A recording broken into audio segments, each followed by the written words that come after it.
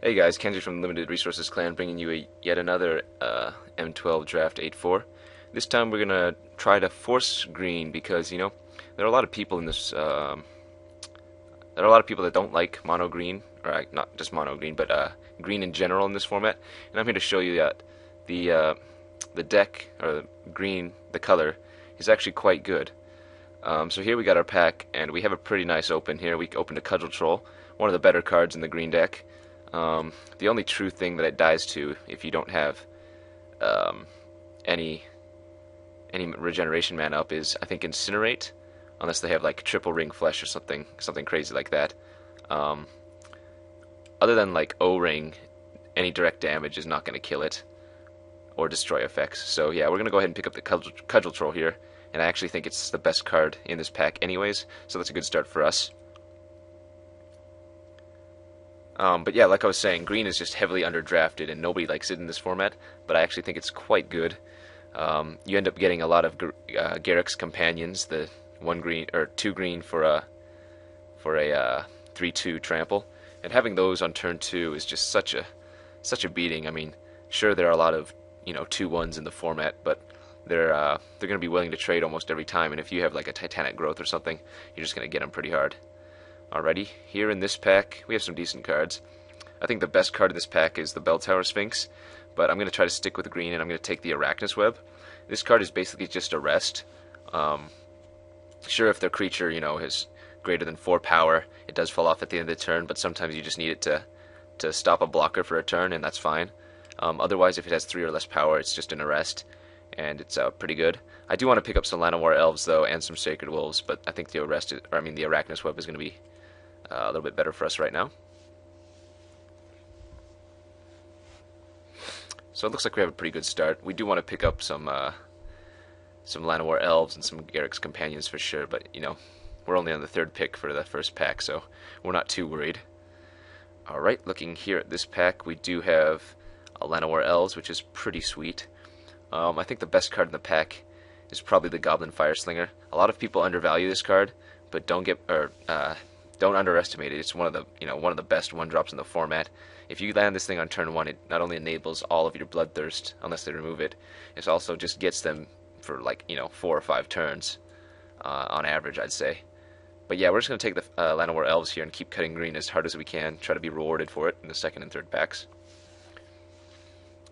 Um, I guess there was a Phantasmal Bear and a Devouring Swarm. Both fine cards in their respective colors, but green you know, I'm a, I'm a big fan of green in this format.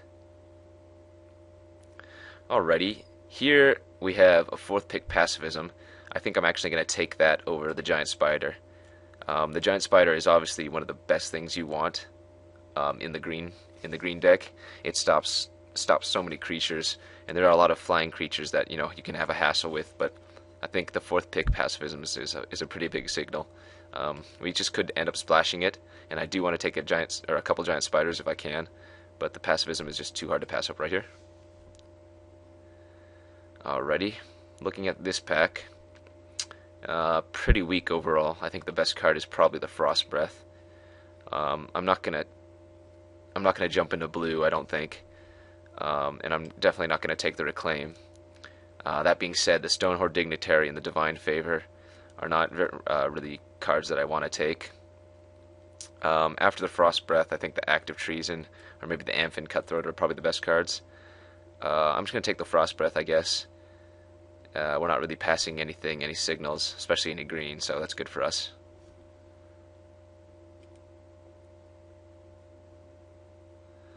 And here we have, um, I guess we have a, a moderate choice here. We could either take the Ponder, which is, you know, a very good card, or the Titanic Growth. Um, like I said, I don't want to be in blue, especially not with green. I don't think it's a very good color combination. So I think I'm going to take the Titanic Growth here. It's a it's a really good combat trick, and uh, one of the only pump spells in the format. I'm going to go ahead and take that. Oh, okay. So, um, the Greater Basilisk is in the pack, but I'm going to take the Stormfront Pegasus here. I think the you know the Stormfront Pegasus is one of the best two drops, um, especially since you know it's a two one flyer for two. Um, just like compare it to the Duskhunter Bat in black, and you know there's no comparison. Uh, the Duskhunter Bat has like a a clause that where you you know it has bloodthirst, so you need to get in damage. So I'm gonna take the Stormfront Pegasus here, but uh, I do want to pick up you know at least one Basilisk if I can later in the later in the draft. Alrighty. Um, nothing much here for us. I'm just going to take the Naturalize. It's a fine sideboard card, and if I don't have enough playables, I will run it main. There are a lot of uh, enchantments and auras in this in this format, and um, it's certainly nice to have one of these in your sideboard. I don't really like the Stonehorn Dignitary in the green green decks, especially if I'm playing white. Um, I think we're too aggressive, and we don't really want to be, you know, on the uh, slow control type. Uh, nothing for us in the pack that wield. I guess I'll take it on summon. I'm not going to play the Guardian's Pledge, I don't think. And the Bountiful Harvest is just terrible. Alright, um, so we could take the Rusted Sentinel or we could take the Mighty Leap. The Mighty Leap is uh, one of the other pump effects. Um, you know, that's not an aura. And uh, it's a fine card, but I think I'm just going to take the creature. Alright, now we get a chance at our Mighty Leap. That's unfortunate that we're passing an Act of Treason. This is a pretty good card against us, but uh, we'll take the Mighty Leap. And now we just got filler cards. Nothing to worry about here.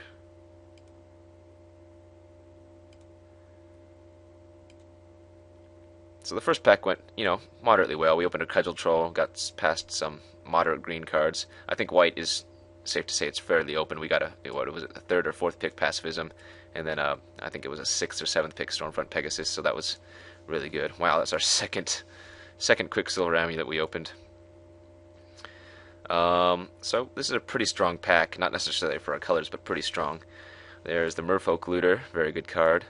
Uh, Blood Ogre, very nice. Stormfront Pegasus, you know, good. Chasm Drake, very good. Plummet's fine as a sideboard card, sometimes even main. There are a lot of flyers in this format, so sometimes you don't, you know, you want to run well, at least one of these main. Hunter's Insight, I like this card a lot. If I can, uh, or I always want to fit one into my green decks if I can. The card advantage, you know, is uh, uh, pretty substantial. Um, here, I think I'm going to take the Stormfront Pegasus um, and stay in green white. I think the best card in the in the pack is probably Merfolk Looter, closely followed by Blood Ogre. Uh, but I'm just going to take the Pegasus. And we have nothing really good here. Um, I think we're going to take the Swiftfoot Swiftfoot boots. Um, it's really nice having you know haste and hexproof on some of the fat green creatures in the format, and certainly on some of their flyers as well. Uh, we could take the Griffin Sentinel. Um, I don't like it too much in this type of deck, but it's fine um, because it's a one-three flyer vigilance. You know, it's just it's just going to keep on uh, hitting them for a few turns, and it holds off a lot of the uh, small creatures in the format. Another Fireslinger as well, but you know, nothing too great. We're just going to take the Swiftfoot Swiftfoot boots. Alrighty, here we got a you know decent pack. Um, Blood Ogre is still in the pack. This card is just stops so many creatures in the format. There's so many two toughness guys that are at at the common slot, and you know the Blood Ogre just deals with all of them, even if he's unbloodlusted. Um, you could make a case, I think, for the Carnage Worm, but I'm going to go ahead and go with the Garruk's Companion.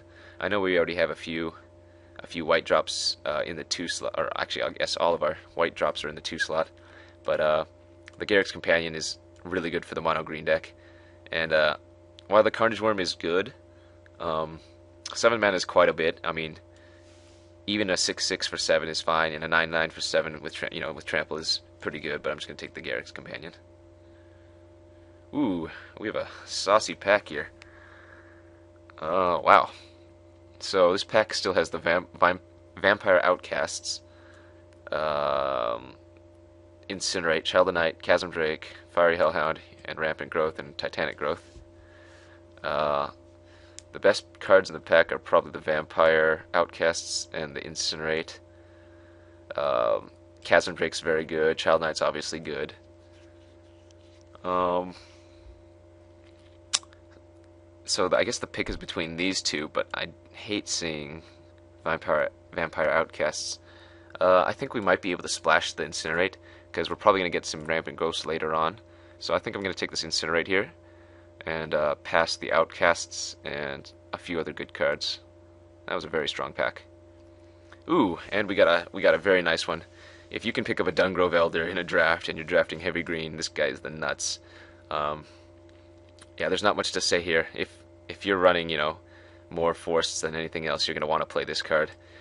Uh, later in the game, he's going to be, you know, at least a 3-3 or 4-4 for four or for 3, and he has hexproof, so really nice card. It's unfortunate we're going to pass a companion in the pack as well, but you just can't pass a Dungrove Elder. Ooh, and we have another another good pack for us. We're going to snap take the Giant Spider. Um, the Stampeding Rhino, you know, I wouldn't mind having one or two in the deck, but um, I think the the Spider does a lot lot better work for us here. Um, comes out a turn earlier and it takes care of so many flyers in the format. Uh, we do want to pick up a, at least one plummet later uh, if we can, but the Spider is just going to do a lot better work for us. And the next pack looks like it's loading. And this pack is pretty bad. Um, I guess we take the Benalish Veteran. We might as well play it. Um, Flashfreeze is probably going to be good against this. I guess you could technically take that if you want, if you were worried. But I'll just take Veteran since it's in our colors, and we'll probably end up playing it. Alrighty. So uh, we have a few options here. We have Trollhide, Stave Off, and Lure. I think the best card in the pack is for us is the Stave Off for sure. But I do like having at least one. Um, one in, one or two enchantments in our deck, and I think the lure is actually really fine. Um, you know, it's not that great, but uh, if you can land it on one of your hexproof guys, like if we've landed on our Dungrove or put on uh, one of the uh, Sacred Wolves, it's pretty good. I think I'm actually going to go with the uh, Stave Off, though. It just does so much work in this format. Um, so yeah, I'm going to go ahead and take that, because I'm not worried about picking up another another Trollhide, and I'm, if, if there's another uh, lure somewhere in the draft, it's going to be passed because nobody wants to take it. Alright, let's see. Look at our converted mana cost. We don't have any 5 drops yet, so I'm going to go ahead and take the Greater Basilisk. Uh, we already have a Mighty, Mighty Leap. I haven't really played with this card that much, but I don't think it's that good. I mean, I know I know that uh, if you leave 4 mana untapped and you have this out on the board, they can't really attack profitably. But uh, it just, I don't think it's going to impress me very much. Okay, and I took the Greater Basilisk here. Um, so in this pack, nothing else. We're just going to take the Titanic Growth. Nothing, nothing. Ooh, wow, that's a late Chasm Drake. That's a, what, 12th pick. Hmm. We'll go ahead and take that. Interesting. Actually, for a 14th pick, we actually got a, a fine sideboard card for us in the Autumn's Veil. go ahead and start hiding all the cards that we're probably not going to end up playing.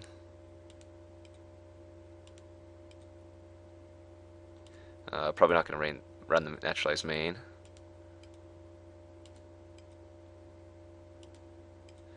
So looking at our creature count right now, we're kind of low. So we're going to want to pick up, um, you know, at least five more creatures because the green decks are uh, pretty, pretty, uh, pretty crazy. Um, in the creature count. And wow, we opened quite a pack. Jeez. Um, hmm. Inferno Titan, Phantasmal Dragon, Sengir Vampire, Mind Control, Incinerate, and uh, a bevy of two drops that are fine. Um, wow. With the Incinerate, I'm really tempted to take the Inferno Titan, but we already have a few good white cards that we do want to play. Uh, we're not going to take any of the uh, blue cards or the Sengir, obviously, but the Inferno Titan, I just don't think you can pass this card. I know it's pack 3, but we already do have Incinerate. I think I'm going to pick it up here. It might be a little bit greedy, but, you know, that, that card is bonkers. Ooh, and we got a nice one. We got an Arachnus spinner, spinner to go with one of our uh, Arachnus webs. it's funny, there's an Arachnus web in the pack as well. So the yeah, I think the best card is obviously the spinner, and we're gonna take it. But I think it's followed probably closely by the Stormblood Berserker and then the Arachnus Web. Yeah, so taking the spider is pretty nice. Uh, it's gonna be really hard to splash the Titan. I think. I think we might be forced to drop some of the white. Maybe just splash the pacifism. Um, in this pack here, we have the choice between, I guess, Shock, Giant Spider, and Garruk's Companion. I'm going to take the Shock here. It's removal.